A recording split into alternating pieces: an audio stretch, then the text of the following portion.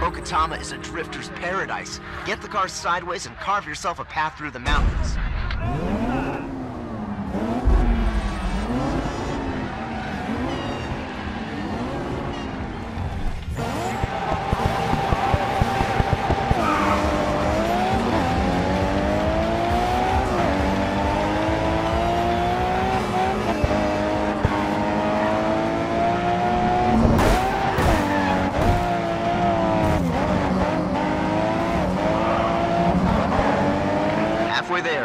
Pushing through the pack.